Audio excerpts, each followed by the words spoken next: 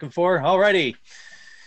And with that, I think we're going to kick off. Who wants to start today? I think we've got Mar- uh, Mariana. Why don't you start this morning? All right. It's over to you, my friend. Thank you. Hello, everyone. So today with us we have uh, uh, Takuya.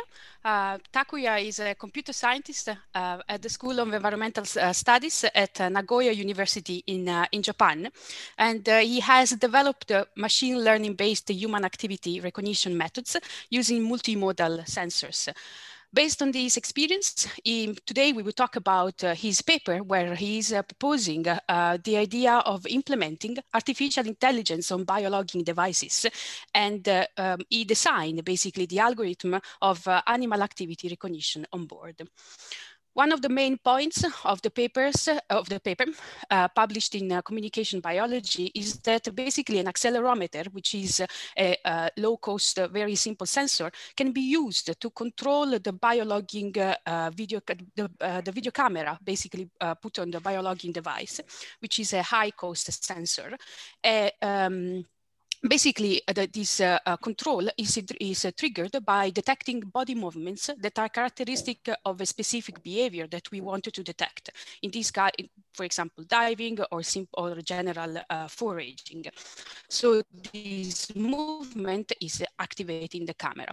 The authors show how it is more efficient to activate a camera based on, uh, on the behavior of interest rather than using a periodic sampling basically, so uh, to show this, um, the, um, to, to, show basically that the data collected uh, on the accelerometer while the animal is uh, in, in, in the wild um, are actually um, uh, it needed to be, they show basically that the data needed to be analyzed uh, on, uh, on board of the device and so trigger basically the, uh, the camera. So a substantial amount of work has been carried by the researchers to develop models to be used to detect the behaviors on board of individuals.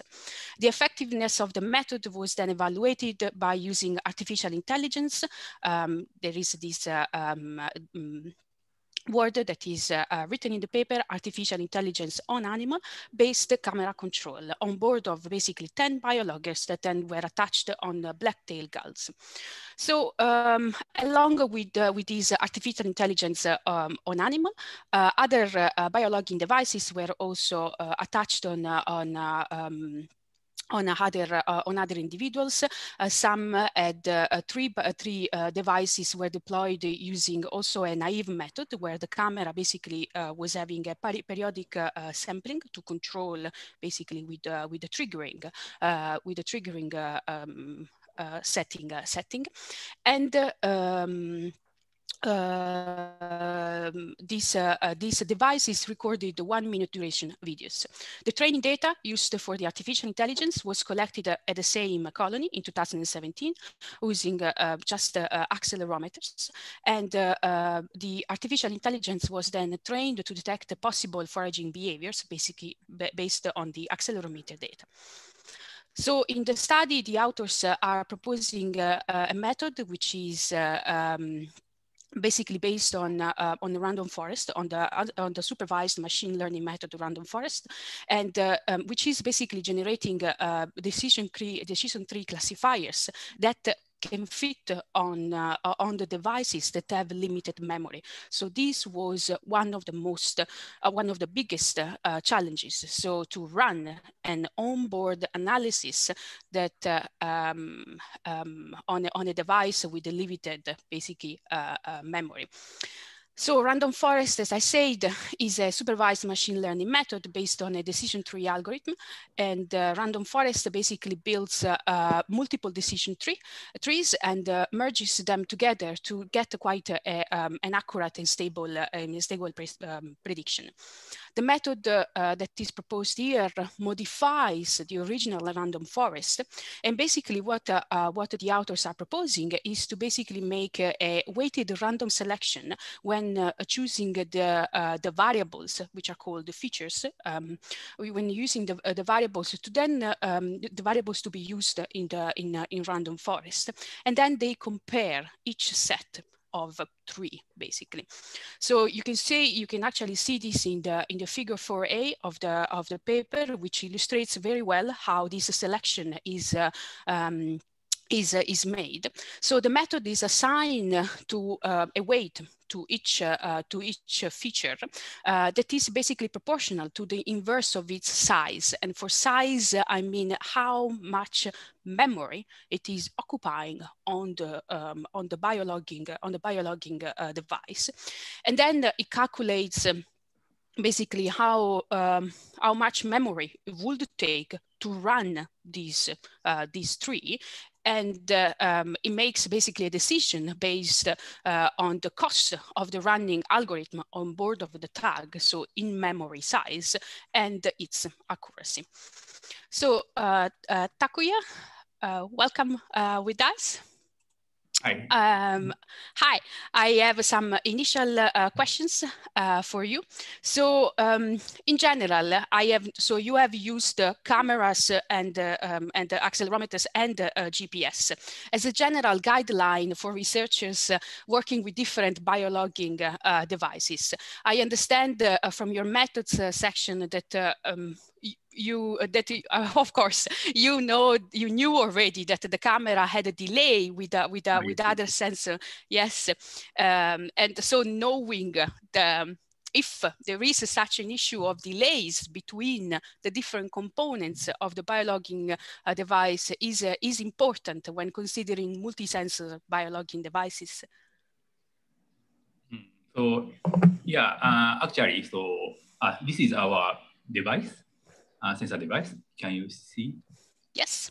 Uh, and so, let's say, uh, yeah, because of the uh, limitation of the uh, camera device, so it has yeah about uh, three or two seconds uh, delay uh, after we uh, send a command for uh, re recording video.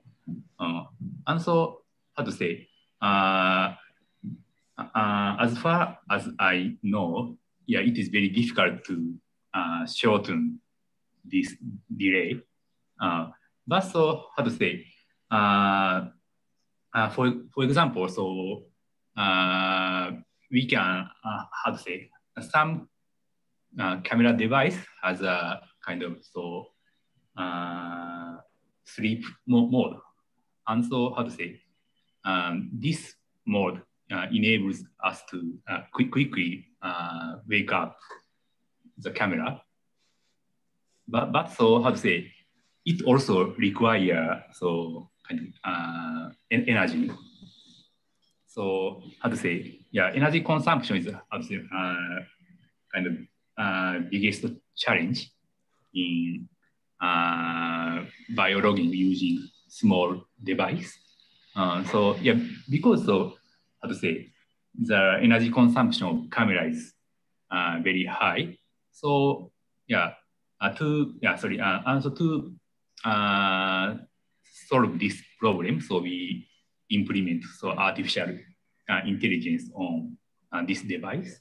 Uh, so uh, how to say, yeah, uh, yeah, using sleep mode or yeah, uh, can uh, consume so energy so yeah, it is very difficult to solve this problem. And so maybe another solution is to capture kind of, how to say, a kind of, uh, how to say, uh, for, for example, so when uh, animal uh, performs uh, specific activity, so if we can uh, observe, how to say, characteristics sensor data uh, that can be uh, found just before the activity. I, I think we can turn, turn on the camera uh, before the target activity, but it, it is also very difficult problem, I, I think. So because so sensor data observed in natural environment has a lot of noise. Uh, so how to say, uh, yeah, I think yeah, it is also yeah, challenging to catch such a uh, uh, characteristic uh, data before the target activity. Mm. But I think it is also a yeah, interesting research topic. Absolutely, absolutely.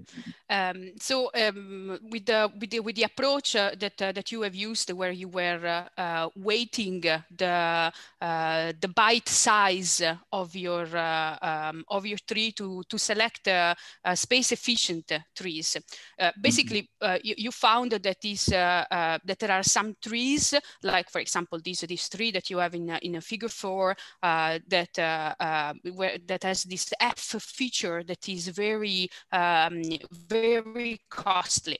But uh, so the, um, but the accuracy is basically as uh, almost as uh, as um, um, is uh, as almost as good as with the feature basically with the with with the tree without uh, without this uh, this F feature. But of course that tree without the F feature was basically less costly. I was wondering if you if you have tested before before like uh, putting everything on your on your device um, a normal like just a, a random forest with and without this this um, this variable, this uh, this uh, this feature, um, to to see if you could have without looking at the cost, if you could have dropped that uh, that variable. Yeah. So how to say uh, uh, the feature uh, feature if uh, it is sorry I don't remember what, what kind of feature. but so how to say feature if it's just a costly feature. Yeah. yeah. yeah. uh, how to say, yeah, we found that uh, it is very uh, useful feature to uh, accurately recognize uh, animal activity. And so uh, I remember that the first one, first, the most useful feature is the feature G variance. and the second one is so feature F, kurtosis. And so, uh, so when we uh, construct uh, decision trees using modified random forest algorithm, so yeah, we uh, included the uh, all the features. But so how to say, uh, because the algorithm construct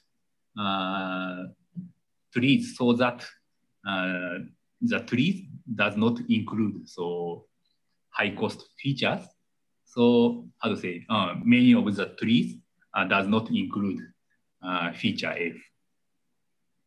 And uh, yeah, of course, so we can find a, a tree uh, that include uh, includes feature F. But so let's say because of the capacity of the flash memory, we couldn't implement such a tree, a tree on the logger. Yes. Okay.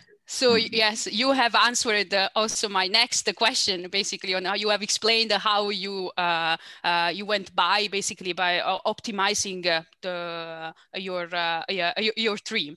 So mm-hmm. I'll, I'll, I'll move on to my next to my next oh, question. Yes, that's great. That's great. um, I was uh, really uh, interested uh, in how you um, how you worked out uh, um, and assessed the robustness of the of the activity uh-huh. recognition. It was a very interested uh, uh, interested point of your of your paper, and I actually really liked the the idea to address the fact that so the tag can move, the tag can become loose, but also the environment in which the animal is moving can actually be uh, be noisy. So the signal is noisy. So you mm-hmm. introduce the noise um, to train basically your algorithm with uh, um, with uh, with with this with this noise. Um, I think that is that this is important to test and apply also um, when including so the, the, the posture the posture of the animal can also be uh, um, be, be noisy. Yeah. So how to say? Yeah, uh, as you said, so my uh, main research is so human activity recognition. And so how to say, also, uh, it is also a big issue in human activity recognition.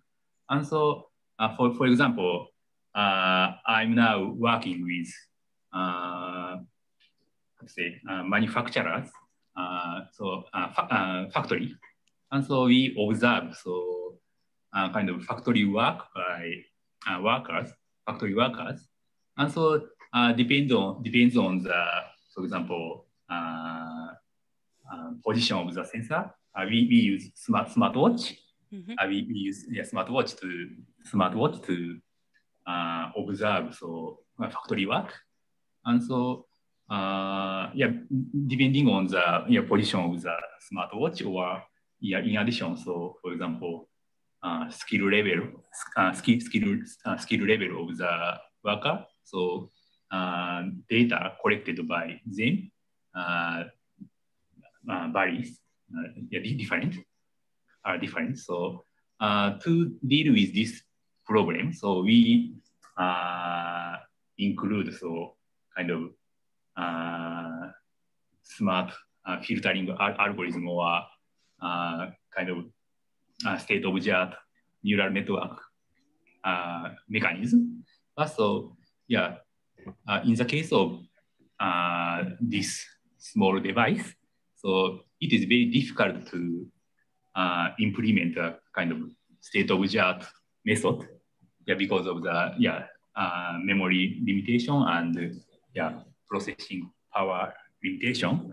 So uh, to solve this problem, so we uh, include so artificial noise on training data in, in, in, in advance. And so, and then uh, we train the uh, decision tree on the yeah, noisy training data. And uh, by doing so, so we can uh, construct a so decision tree that can uh, process uh, noisy sensor data. Uh, so yeah, by using this approach, so yeah, uh, we can uh, deal with the noise without using yeah, smart uh, filtering method or yeah, state of the art yeah, uh, mm, uh, network or something. Yes, yes, very, very interesting. Um, so I have one last question, but uh, I will ask uh, David uh, um, and Grant if they have uh, questions before I ask. Yeah, David, David, yep. go for it. Yep. Um, yeah. Th thanks. Thanks a lot, and uh, for, for the very nice uh, study and and uh, congratulations uh, on, on your on your work, uh, which I really enjoyed uh, reading, and it it reminded me um, that that some of the very first camera deployments um, on on seabirds were actually made in in Japan or, or in Antarctica by Japanese researchers. And I, in particular, I, I, I remembered a paper published in PLOS One, I think it's over 10 years ago, and it was um, camera deployments on uh, tropical boobies on Okinawa um, Island. Um, I, I, remember at the time being very excited uh, about these, these uh, developments and and uh, what you did with this paper really makes uh, sense because one of the big limitations of course, is uh, is camera lifetime and, and the time it can it can record. And uh, and you sh- you show nicely that there are advantages uh, of uh, putting the device on the belly or on the back. Uh, so on the belly, uh, you it's better for, for filming, especially what the bird is is eating. but on the back is better for GPS reception. Um, yeah, yeah, so yeah. I was so so I was wondering in an ideal mm-hmm. world whether it might be possible to have a device in two parts, um, mm-hmm. one with the camera on the belly and, and one on the back with the, the GPS, and, and maybe uh, whether these tags could communicate uh, with, uh, with each other?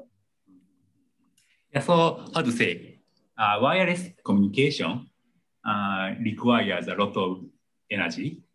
Uh, but so how to say, we are also now developing a kind of yeah detached logger. So yeah, this is uh, uh can you see this cam uh, logger? Uh, this is a camera.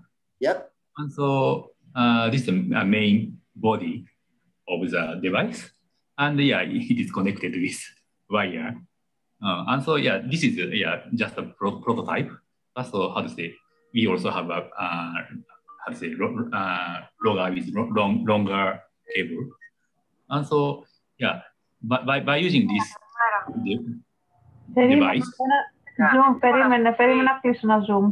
Oh, you have to switch off your microphone. Yeah, that's it. Sorry. Yeah. Uh, and so, yeah. Uh, yeah, next time, so we plan to uh, attach this uh, main body to the, for example, back. And then, yeah, for, for example, uh, attach this uh, camera part to, for example, the top, top of the uh, head or somewhere to capture, yeah, good uh, scene of foraging. Yep. And I, I, I, remember similar attempts. Uh, I think it was in, uh, in, in Cape Gannets of mm-hmm. having the unit on the lower back and then the camera in between the legs uh, looking up. Uh, but I, but uh, yeah, I, I don't remember about the outcome uh, of the of the experiment.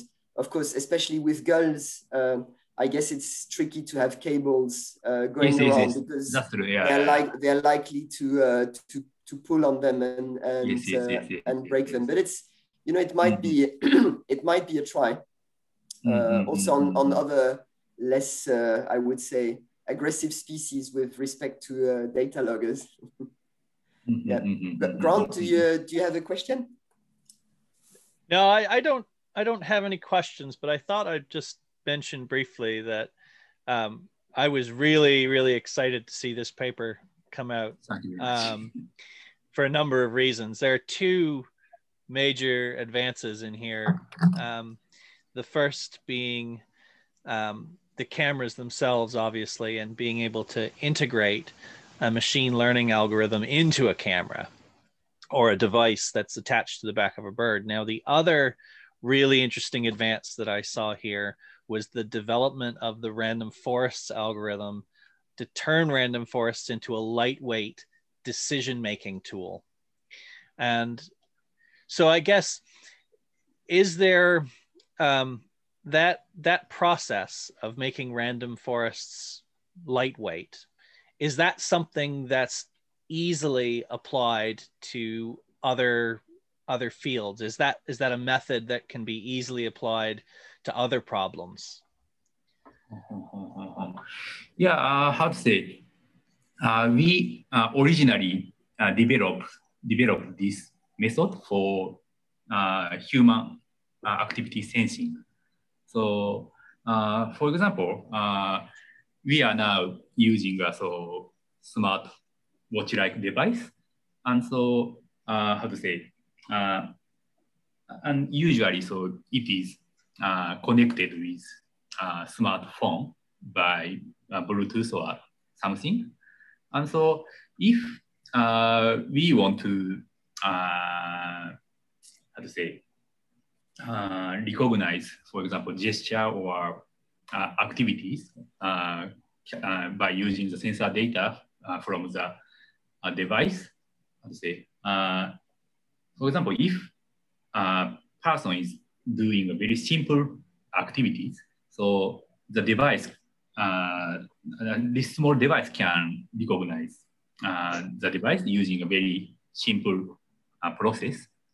But so if uh, for example, uh, if a person is doing very complex activity, uh, for example, doing a factory work or something, so uh, it is very difficult to uh, recognize it using uh, simple process. So how to say, in many cases, so kind of deep model or yeah, complex model is required. And so uh, in so to uh, reduce the how to say uh, energy consumption of the device, so we proposed to how to say uh, say adaptively uh, process the incoming signal depending on the com com complexity of the in incoming signal. So for example, if uh, simple uh, activity, uh, simple, simple sensor data is coming, so the device uh, process uh, process the data uh, on, on the on, on the board and send only the result. And so, I'd say, yeah, uh, sending something uh, wirelessly requires a, a, lot of energy. So by just sending a result uh, does not consume a lot, lot of energy. So if, to say, complex data is coming, so the device uh, pre-process the complex data uh, quickly and then send the uh, pro uh, processed data to the smartphone and then smartphone uh, process recognize the data using complex model. By, by doing so, so yeah, we can uh, reduce the energy consumption related to uh, wireless communication, but so we can also recognize uh, complex activity at, at the same time. Uh, so yeah, I, I originally uh, proposed this method for person. Um, and so yeah, I think yeah we can uh, you, you use this kind uh, this kind of uh, technique for yeah uh, yeah for smartwatch like uh, poor devices. Yeah, that is very very cool. Thank you very much. Um, Mariana, do you have one more question you'd like to ask before we go to the next paper? No, we actually we actually talked about the, the implementations and we saw already the new fantastic uh, prototype. Yeah. So uh, yeah. All right, beautiful. Well, Takuya, thank you very much thank for joining you. us. That was uh, and, and, congratulations on that fantastic paper. Thank um, you. All right, so we're going to move on now to our next paper on the list which is by Gildas Glemarec. And I apologize if I butchered your name with my North American accent. I'll unmute you there. And uh, all right, this one, this one is down to me. So, seabird bycatch is one of the biggest threats to seabirds in the marine environment. Perhaps only rivaled by things like climate change, or in some cases, introduced predators. Now, estimates suggest that there are upwards of 400,000 birds every year that are drowned by gill nets alone. You know, just for reference, that's basically the entire population of black-browed albatross in the Falkland Islands. So for those of you, so this is this is obviously this is a population level problem. For those of you not familiar with gill netting, this is a process where a large paneled net is hung vertically in the water column and left for a period of time to catch fish as they pass the area of the net. Now, seabirds get caught in this net when they dive for fish that might either be near the net or caught in the net as well. And now, bearing in mind, these nets are generally transparent or very near transparent, so uh, very difficult to see. Now, because of the massive impact that bycatch has on seabird populations, monitoring and reporting is absolutely vital towards conservation efforts. In the EU, bycatch reporting is a requirement. However, data are rarely reliable, and particularly in the artisanal fisheries. So these are sort of small scale fish fisheries of small boats uh, run by locals. This is because until recently, monitoring was only really able to occur sporadically, as human observers are required, which can either be prohibitively expensive or in some other fisheries in other parts of the world, extremely dangerous. Um, in Denmark, where this study was carried out, commercial gill, netters are tend, tend to be quite small, so less than 15 meters in length. And the national program only covers about 0.1% of the entire fleet. So it's, it's a huge data gap here. So this leaves reporting up to the individual operators where they fill out logbooks and record how much they're catching. And that raises major concerns about data reliability when enforcement is basically next to impossible. Carcass collection other methods can somewhat help to complete the picture, but broadly, it's understood that the amount of bycatch is heavily underreported. Now, electronic monitoring systems are have been around since about 2008-ish, uh, and they've been put on fishing vessels to monitor activities, um, and particularly issues around bycatch and otherwise. But these are becoming widespread now. Um, these EM systems allow for the storage of footage and um, on board, and thus the ability to revisit the data at any time. Now, until recently, most applications of EM systems have been on large commercial vessels where cameras are, can be sort of easily installed. You can put, you know, big CCTV cameras on large trawlers. Uh, now, the authors of this study decided to deploy some EM systems in the Danish artisanal fishery to assess bycatch. And this is a particularly important step forward because of the data gap that exists around bycatch from small fishing vessels. Three gillnet vessels operating in Denmark were fitted with EM systems for this study, and the entirety of fishing activity was recorded with data spanning generally from 2010 to about 2018. Uh, and that varies between the vessels that were that were tracked. Now, these vessels were primarily um, used for cod. Um, they were also catching uh, lumpfish and other similar species. Now, these EM, uh, so these these nets that are placed are um, are quite long. Um, I think uh, in the paper it's mentioned that some of these are, are extending up to five kilometers in length um, with the, the entirety of the nets. So these are massive, massive nets. Um, and of course, if you're familiar with gill fishing, gill netting in other parts of the world, you'll see that in, in Iceland, you can have nets that are, you know, tens of kilometers long or more.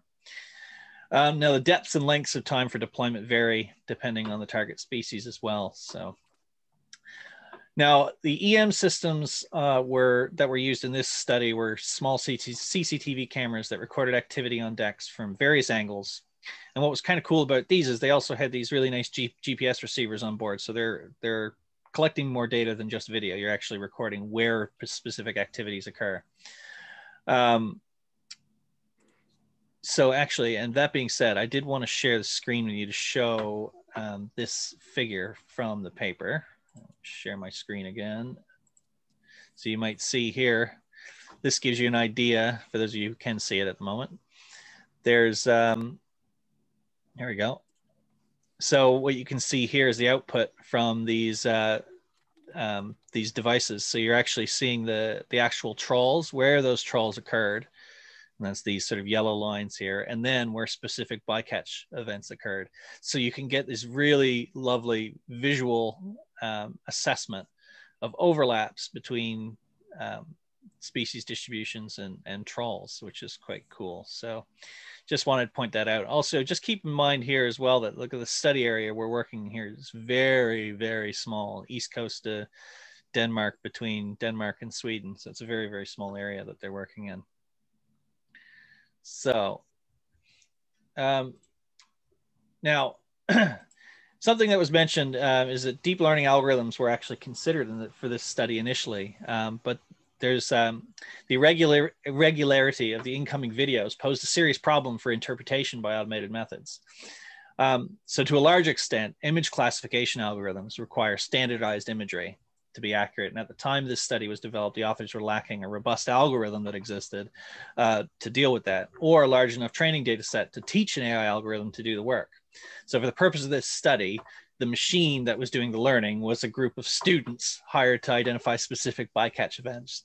Now, I just want to show you again, I'm going to share my screen again one more time. Uh, sorry for jumping back and forth here, but um, I want to show you the kind of imagery that comes in. So if I zoom in, oops, there we go. You can see some of the imagery that gets collected um, from the cameras here, and you can see that the birds are in all sorts of different postures. They've got various debris wrapped around them. Um, so it's very, very, you can imagine how even a trained observer might have some issues trying to identify some of these birds. So, um, so that's that's part of the issue that was brought up here by the authors about why deep learning or uh, machine learning methods probably might not work here, at least not yet. Now, now the authors uh, used fishing effort, which is a function of sort of net length and soaking time, so how long the net's in the water, and bycatch um, to generate these bycatch rate estimates. And these rate estimates are recorded as the birds caught per kilometer by hour. Um, the authors compared the EM data to fishing logs and found that the EM data covered about 77% of all fishing trips by the three vessels and accounted for nearly 11,000 individual hauls. Now, from these 11,000 hauls, 700 birds from about six families were identified. However, only over 90% of the birds captured were either uh, were one of three species: common eider, great cormorant, or common guillemot. And it's important to note that regionally, common eider are considered endangered. Now, analysis and the timing of the bycatch of uh, bycatch rates found that the highest rates were during November, and that's in, even when accounting for extreme bycatch events. So there was an extreme bycatch, uh, several extreme bycatch events where many birds were caught all in a very short period of time. So even accounting for that, it seemed like the uh, the the biggest overlap was uh, during the sort of uh, early winter months. Um, a hot spot of bycatch rates was also detected in the northwest sector of the study area, um, and so these identify these spatiotemporal overlaps, um, and those kinds of overlaps can have an immediate impact on conservation initi initiatives. So we know where to look basically and where to put in protections. Um, the mean bycatch rate that was worked out um, in this study was about 0.34 birds per trip. And the upper 95% confidence limit of that was 0.56. Now, this might not seem like a lot, but let's, if you scale that up, let's say in a worst case scenario, a vessel is taking one bird every two trips. Now you scale that, let's say there's 100 vessels. So assuming the same rate for all of those vessels and one trip per day, that would be nearly 400 birds per week. So if you scale that up further to say 30 weeks of fishing per year, that would be just under 12,000 individuals taking from, taken from that small area in Denmark, assuming of course that there's 100 vessels around um, to to pull that many birds. So Gildas, thank you very much for joining us today, and thanks for that very cool paper.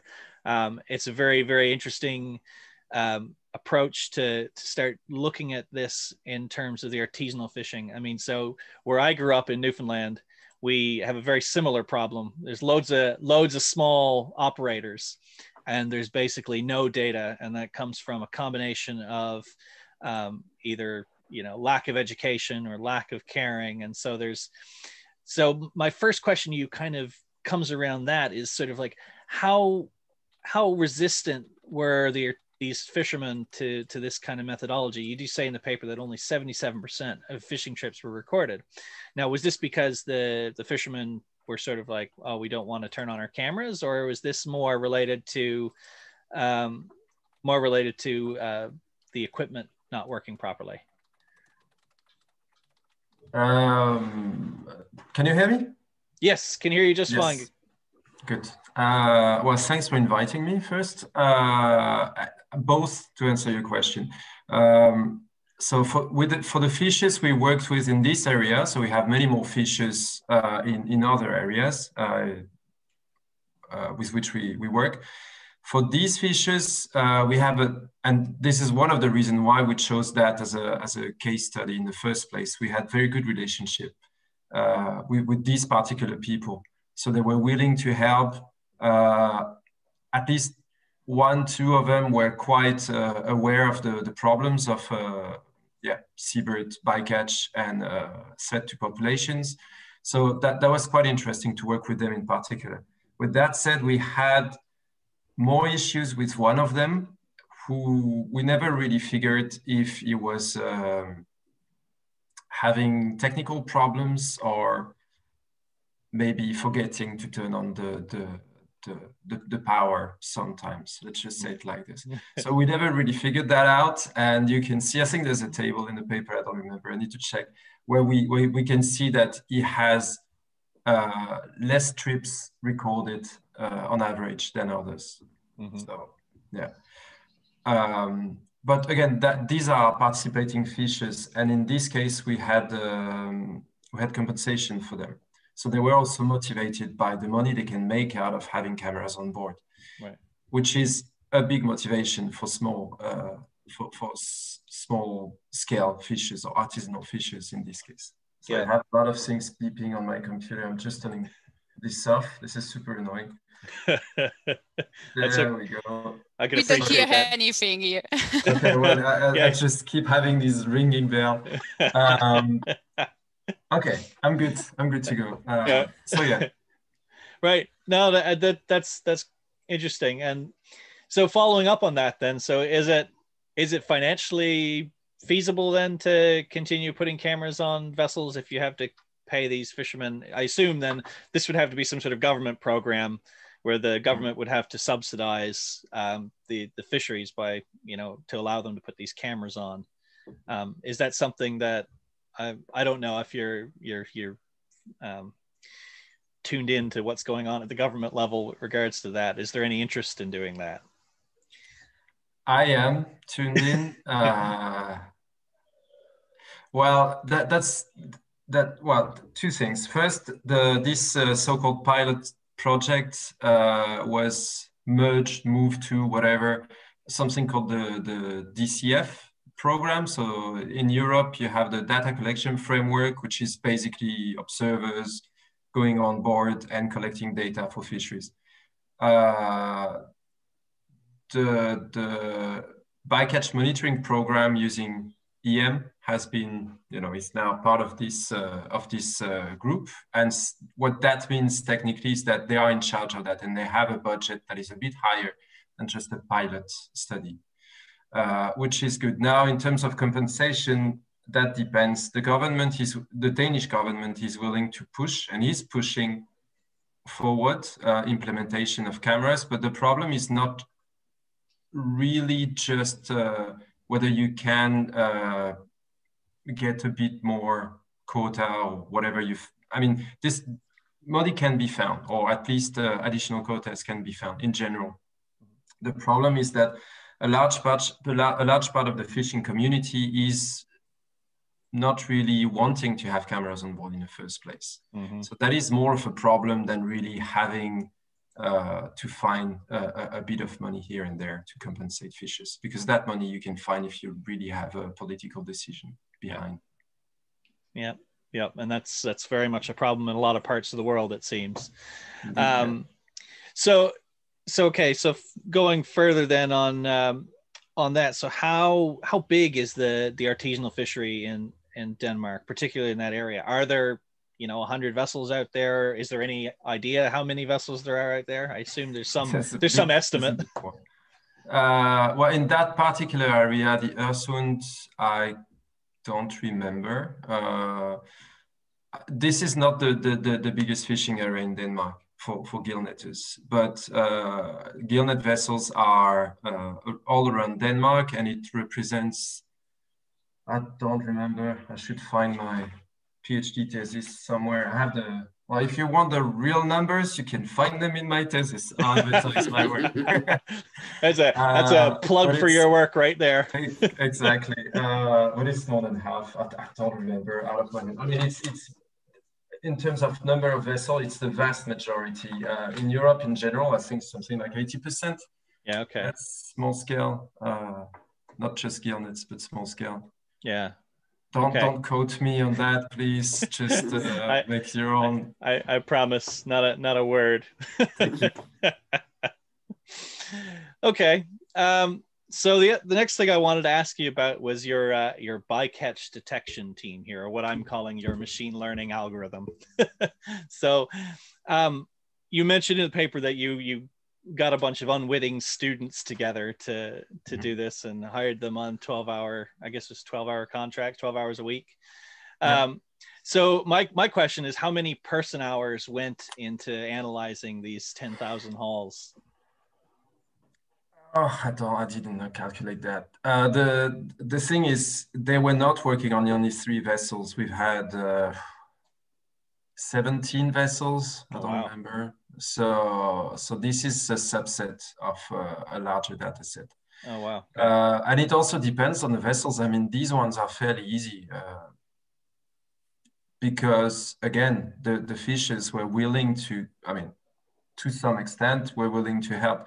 So we could call them and say, hey, look, you know, you have some salt, whatever, crust on your on your camera lens. Please clean it. And they would do it. They would also help us not not always but uh, you know presenting the bird to the camera which helps mm. a, a, lot uh, of course. So when you have people that are willing to collaborate i mean you you, you save so much time in other areas where we have uh, larger vessels for instance going for longer trips um, that might be more, more difficult because uh, actually you were saying that the that the net fleets were impressively long they are not you have much much much longer uh, net fleets uh, that can be set in other areas um, mm-hmm. With longer soak times etc which means that for the fishes uh, working on board it takes a long time just to disentangle the fish, and they couldn't care much about the cameras at some point. So mm-hmm. they just uh, they're just doing their job, and if the camera is a bit dirty, they, they probably don't see don't see it. Mm-hmm. So in some areas it's more difficult than in others to work. In in that one is it was relatively easy. So so to answer your question, how many hours did it take? I I don't know. I could calculate that probably, but uh, yeah, yeah, I don't know. Yeah, it's it's interesting because it's of course in in the machine learning community and the image recognition community. I mean, this is the big thing is trying to tease out the differences between uh, how long it takes a human to do it versus just setting a computer at it. Um, and I'll I'll come back to that in in a little bit, but maybe I'll let uh, Marianna and David ask a question. David looks like he's got a question. I can see that look in his eye. He's got his he got his pencil up to his mouth and he's thinking. Yes, um, but Marianna raised her hand uh, first, so uh, I think she she should uh, she should go for it. go for it, Marianna. Yeah, thank you. Um, yeah, no, my question is uh, is again about uh, this uh, uh this uh, machine learning power that you had because I um, I think this is a common uh, um, like the problem that you had with um, with with the with the video is the problem that we all have when also like when we record images from um, on board of a, of an animal like yeah the detecting prey catching events or foraging in general. The quality of the image that comes uh, that comes in is uh, is as it is uh, and uh, like we have the same problems like like uh, water uh, clarity and um, and the light reflection and all and all these things. So yeah um, I, I i understood the like I, I could see yeah the, the the problem. So i was wondering in in terms of like um, implementations like if you if you want to propose to implement these on board of the of, of the vessels and then start recording for the next uh, like you will be recording for the next 20 years so you will be collecting lots of uh, lots of images. So if uh, there is in it's in the plan to to at least try to um, to start to detect to to train some of the images some like the most clear images like to see if something is possible or not uh, it's more than a plan well it is definitely a plan yeah um, so we we collaborate with this uh, company that's called AnchorLab. i'm talking about them in the in the mm-hmm. paper uh, and we used to work for with a canadian company called archipelago and both companies are, have already implemented. It's on trawlers, so it's on larger vessels. Uh, the camera placement is different. It's more standardized. Uh, I mean, I don't need to get into details, but they already have their own methods, both companies and other companies, where they can uh, identify the species uh, and take length and take length measurements of fish that are, for example, on a soiling tray. And so, based on this, for instance, you, you see a cod, you have a length uh, weight relationship. So you measure, all this is done automatically, right? So you measure the fish or the machine learning process, whatever measures the fish. And then at the end of the, of the, of the hole, uh, you have uh, the weight of cards uh, flat uh, plaice or, you know, yeah, or whatnot. Um, and uh, after some discussions with them, it's possible to do that for bycatch. I personally would like to see, and I have yet to see a process that identify uh, bycatch, bycatch species or uh, birds in this case at species level, but I don't think it's actually the big issue here. Like um, in, in, in this paper, uh, we talk about, I think it's zero, it's less than 1%, zero four as far as I remember, percent of the holes. So the a hole is, you know, you take a net up on board uh, there's 0 0.4, 0 0.5, I don't remember, of the holes that have birds in. So if we had a process that could just flag these events or even these holes, and then we could have a, a, a human operator just just watching the hole and maybe even uh, identifying the, the, the, species where possible. So that would already save us a lot of time.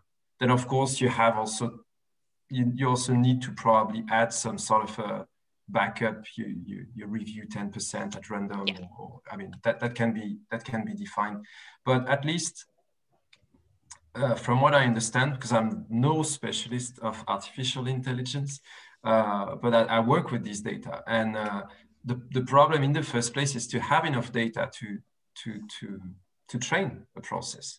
And that it just didn't exist uh, before. Hmm.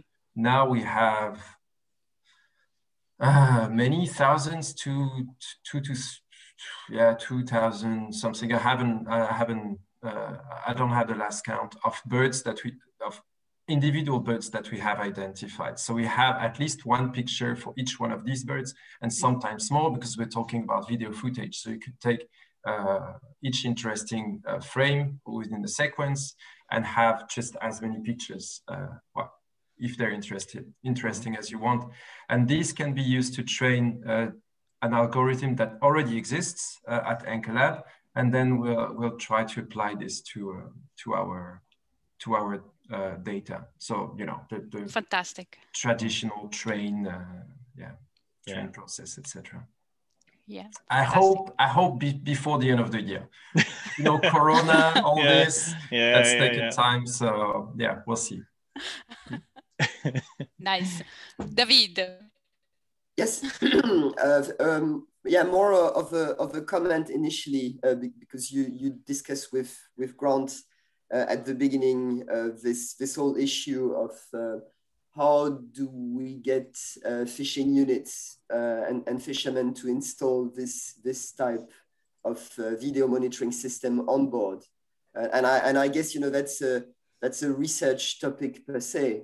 Uh, you know what what's what's the actual process leading to this being in place or not you know there are there are areas uh, for instance in the French part of the Mediterranean, um, we, we're trying to discuss um, the implementation of this type of, of systems. And, and what I get so far is, is a definite no. Um, so, uh, so it's very, it's very tricky and it makes you think, you know, where, where do you succeed and where do you fail uh, in, in this process? And, and in, in my experience, it works out if you've been involved in a collaboration with fishermen actually before there was this whole issue of bycatch and, and, and whether you were already in a collaboration where there was a, a sort of sense of uh, joint uh, target and joint destiny about a better management of, of marine resources, etc. Because, um, uh, for instance, the discussions we had in, in, in Normandy and Brittany uh, in, in a similar situation um, actually fishermen were willing to have these cameras also on small fishing units if uh, before that uh, we had been all together finding out that you know there was an issue with the use of marine resources bycatch of seabirds was part of that issue. And and then you know everyone was willing to to do something. Uh, whereas you know if the cameras come later in the process where things have become very polarized uh, around the, the issue of bycatch, then it's, it's much harder because uh, you're facing a fishing community which is locked up um, in, its, uh, in its certainties. Um, and, uh, but the question I wanted to, to ask is that at the end of the day with, with your study, was, was there, um, what were the implications in terms of uh, management and conservation in that area? So what, what sort of um, additional mitigation measures were set in place to reduce bycatch? None so far in this area. Uh, I, I, mean, I don't think this study in particular has changed uh, the, the, the, position or the, the, the, thoughts of the managers about, uh, yeah, about this. Uh, hopefully it will, but it, it might not be the area where we have the, the, the, the, highest problem. You're just pointing out a problem that we face here too, even though we work with most, mostly with fishermen who are willing to collaborate and to yeah, advance science and even conservation uh, to, to some degree. Um, we also work in areas where we have, or we, we there are areas where we, would like to, to, to, to put cameras on board vessels and we, we just can't, or at least uh, we have very few people that volunteer for this.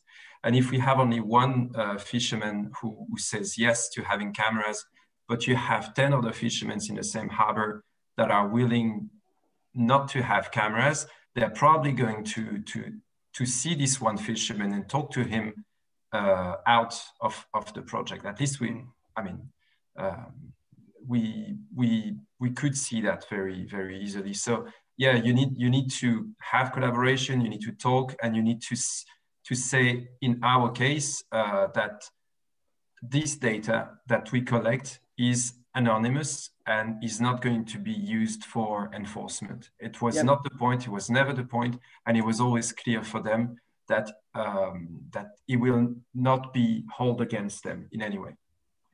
And I think this trust that we managed to build with them was extremely important, and it yeah it allowed us to build brick by brick actually the the the the, the data that we have today.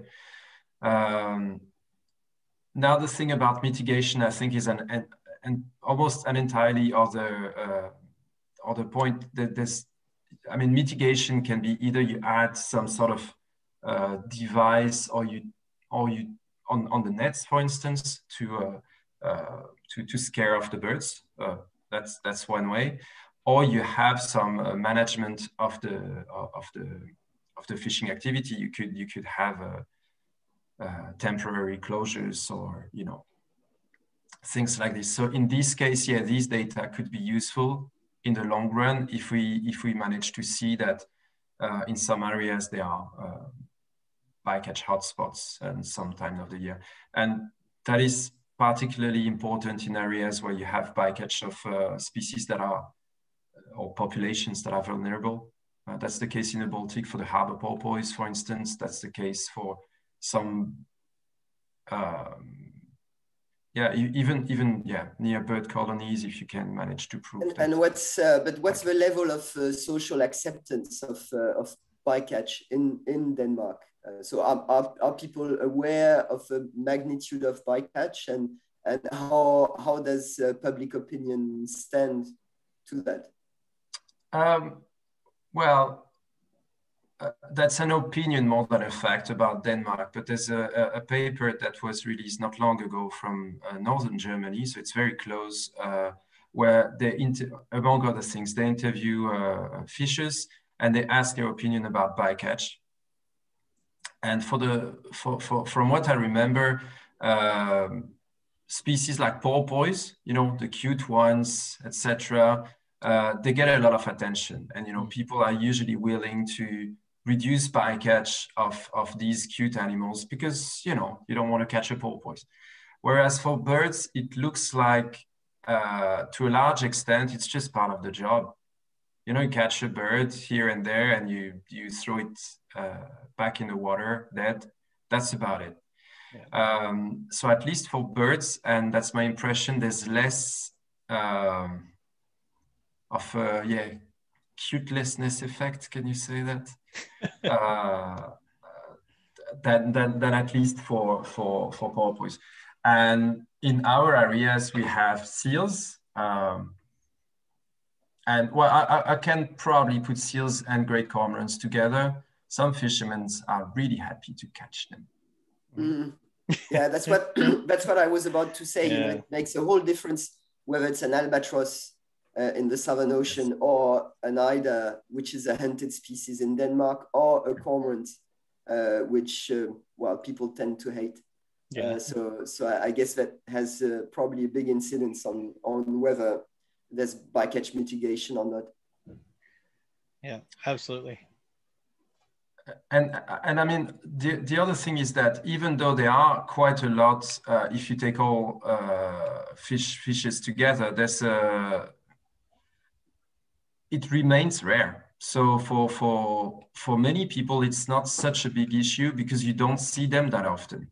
But occasionally, you see a lot of them cut together, and and if you just uh, sum up all the bycatch, that can, uh, yeah, sum up to to large numbers, and sometimes also, uh, yeah, common guillemots yeah. almost as cute as penguins. I agree. No, that's so right. Much. Who said that? We, yes. We forgot uh, about the guillemots, especially since you know their conservation status is uh, yeah. is uh, not good at all in in the area. So uh, mm-hmm. Uh, people should at least be motivated because of the guillemots. yeah, well, you, you talk about, well, again, I'm sorry, I'm going to advertise my own work, but uh, since we're talking about it, mitigation and guillemots, uh, we have uh, a fishing vessel that is fishing uh, lumpsucker in an area where we know that there's a lot of bycatch of guillemots. And by a lot, I mean a serious lot. Mm -hmm. lumpsucker gillnet fisheries, they're known uh, in all across the northern uh, Atlantic to, to catch a lot of uh, auks in general, not just common guillemots. Uh, so we'd, would like to, to have more data from this area because it's quite important. From the data that we've seen, sometimes you catch more guillemots than lumpsucker in a net fleet. So yeah. Hmm. Yeah. Yep. Very good. Um, thanks for that, Gildas and David. Um, I'll throw it out to the audience if there's any questions before we close up shop. Oh, we've got one from Julius. Uh, right, please, there you go. Go for it. Hello, Gildas. Thanks for a, a nice paper. Um, I'm from another part, uh, another coast of the Baltic Sea, from Lithuania. And I was uh, some questions related with this uh, EU technical uh, regulations like this uh, European Maritime and Fishery Fund. And uh, how do you see development of this? Because there was a proposed CCTV camera on board to, to collect the DCF data. So, but as I know, lots of countries, they were against this. So do you see a potential of your, of your study that it would be implemented in other fisheries? Well, I, I hope so. Obviously, I would I would like to say. Um, um, but I mean, it's not up to me, right? I mean, if if the if there is a political will to push forward camera uh, or EM in general and camera in particular implementation uh, or monitoring, sorry, uh, in, in, in fisheries, that will move forward. Um, in Denmark, it is uh, it is the, the, the will of the government to, to do that in, in fisheries where we know we have a, a problem with discard, for instance, in Nephrops fisheries on trawlers. Uh, I talked to colleagues in Sweden uh, who are also working on uh, some portable systems that can be adapted to very, very small vessels and that could definitely be a, a solution in, a, in fisheries uh, or in, in countries where we where where there's many small vessels. So there's there's both a problem on a technical side and the price uh, or the cost, sorry, of implementation, and also the political will and the fishers' acceptance. So yeah, there's the European texts, let's say, and then the, there's the reality of the field that can be uh, quite quite different, and it depends from country to country and culture to culture. Yeah yeah it's it's it's i was actually there was a second question about the small vessels the less than 12 meter size. So it there it's not possible to mount uh, for example these uh, permanent uh, cameras on board this is the majority fleet from lithuania that are fisher, uh, fishing on the shallow waters and we see a, a major impact this sector so any suggestions? What we see is probably just monitoring or collaboration directly by with the fishermen to collect the data because in other, at least in our waters, this the smallest boats they are doing the largest impact. Yeah. So any solutions? Uh, you said you're already working on this something, some scheme. Uh, well, not personally, but I talked to colleagues in uh, in SLU. Uh, mm-hmm. I talked to Sarah with whom you know, I'm yep. sure.